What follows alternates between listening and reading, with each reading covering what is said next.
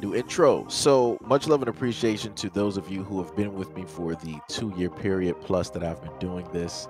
Um, thank you for showing your uh, love and support to the channel. And to anybody else who is brand new to the platform and you would like to support the channel, also you can do it by way of Patreon, Anchor, the clothing store, and also the shoe shop that is listed in the comment description below. And again, thank you to any and all of you guys who have been here to support this channel during the two plus year period. I wouldn't be able to do what I do every single day without you.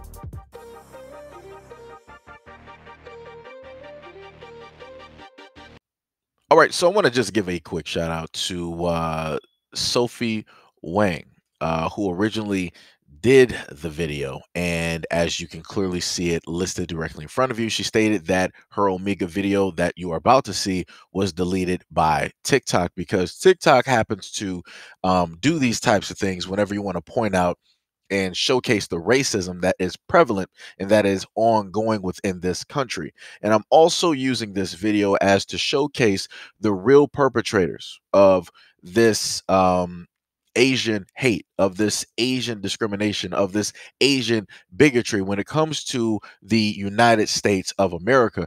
Because for about quite some time, it has been reported, right, that it has been Black people that are the only ones and the main ones doing this to the Asian community. And that has been by stated by way of social media and by mainstream media.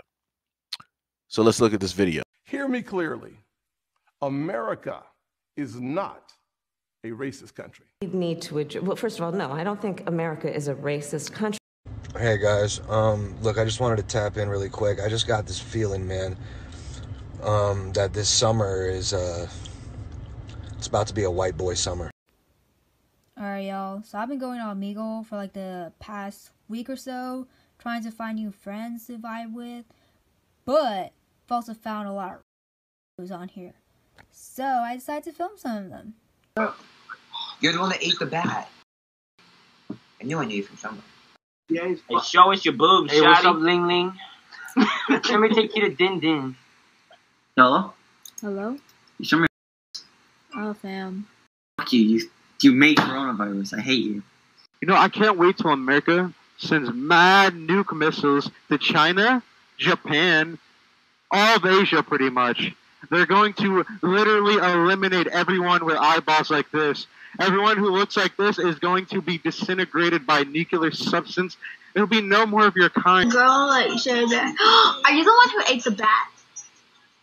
Have blacks been pitted against Asians? We need the black community to realize that the that black people are hurting Asians and they need to speak out uh, in their own community. Our communities are not reporting these incidences. We don't want to cause more trouble, more attention to our community. It strikes me that this is the Asian equivalent of the talk that African American parents often have to have with their children.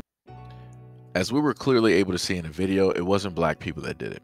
It was the European descendants. It was the conquistadors and, you know, the explorers, right? The descendants of, you know, a lot of those people.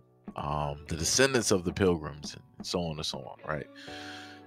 You know, like I said before, these these are things that are taught directly by way of a lot of the true Americans through their school systems, their jobs, their books, their uh, media, mainstream media, um, by way of the elders and other adults in the community.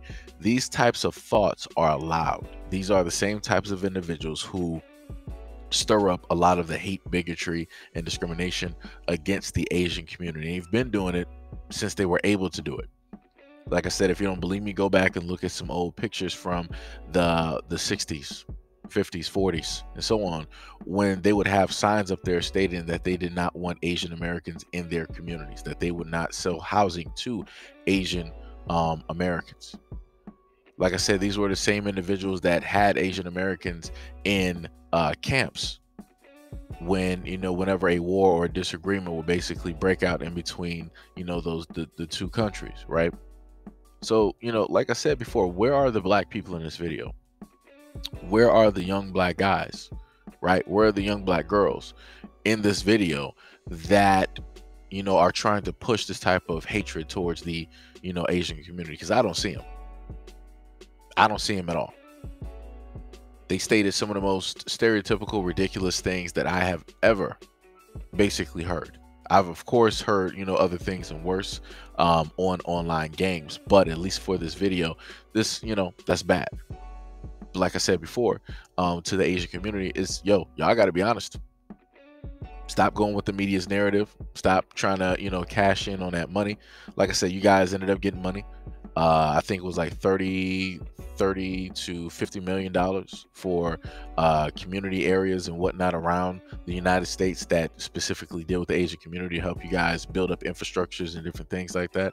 And then on top of that, you guys are able to get a lot of laws, you know, passed um, that will protect you guys um, against hate and a variety of other things. And remember, you had a lot of black people.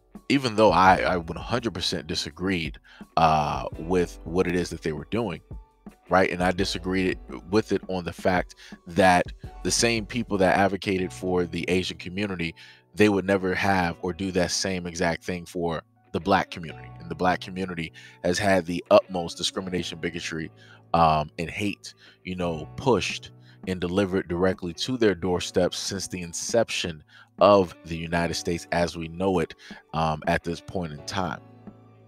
So, like I said, that's why I disagreed with you know black people basically doing it, because as we can clearly see, um, I don't see the Asian community trying to return the favor and be like, all right, so we have some black people that were with us. Now we're going to help you guys get some laws passed, and we're going to help you guys get some money towards your.